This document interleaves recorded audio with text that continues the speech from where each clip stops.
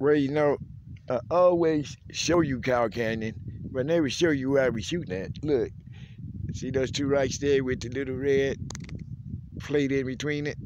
Yeah, that's about 35 yards away. See those two right there? Those are about 75, 80 yards away, maybe slightly more.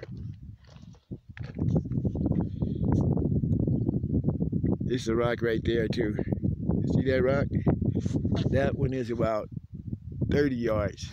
Eh, rather than the one I just showed you. That rock,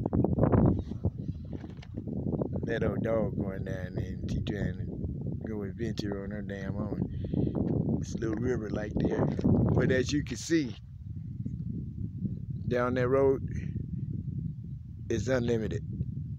It's unfucking limited.